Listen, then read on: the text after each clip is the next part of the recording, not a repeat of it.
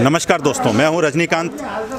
आज हम आपको लेकर आए हैं दिल्ली के कॉन्स्टिट्यूशन क्लब ऑफ़ इंडिया में, जहाँ पर व्यापारियों का एक बैठक, वार्षिक बैठक कहा जाए। भारतीय उद्योग व्यापार मंडल की तरफ़ से देश के कई राज्यों से यहाँ पर व्यापारी एकत्रित हैं और हमारा खास कार्यक्रम बोल व्यापारी बोल सरकार अपनी है और जब सरकार अपनी है तो व्यापारी बोलेंगे। पवन जी, आज का जो यहाँ पर एक बैठक मंथन के रूप में रखा गया था क्या कुछ निष्कर्ष निकला है? क्या क्या मांगे उठाई गई है?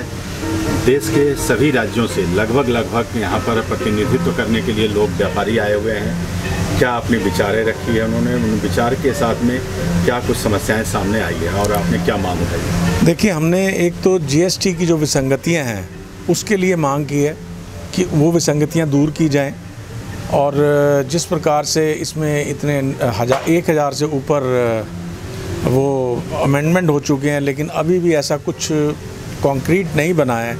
टैक्स रेट में जो फ़र्क है वो, और एक हमने एक मांग की है कि ये कोरोना के बाद सबसे बड़ी जो दिक्कत आई है, व्यापारी बहुत टूट चुका है। व्यापार के अंदर बहुत दिक्कतें आई हैं, बहुत टाइम दुकानें बंद रही हैं। गवर्नमेंट की तरफ़ से कुछ सुविधाएँ व्यापारी को नहीं दी गई, जो देनी चाहिए थी। एक हमने ये मांग की है, और एक हम अलग व्यापार मंत्रालय, लघु व्यापार मंत्रालय की मांग कर रहे हैं।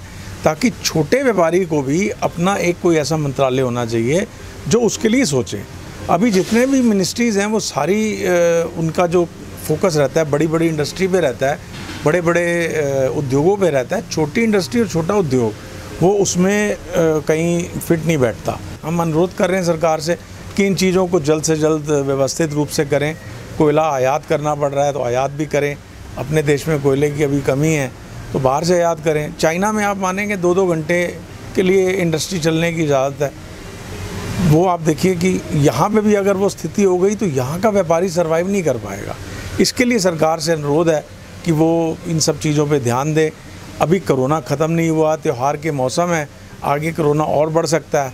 उसके लिए भी मैं सबसे अनुरोध कर रहा हूँ कि भाई अपना ये दो गज की दूरी और मास्क वगैरह ज़रूर पहन के रखें, ताकि कोई परेशानी, बीमारी दोबारा सर पे ना चढ़े। यही सब बातें हैं जिसके लिए हम मांग कर रहे हैं।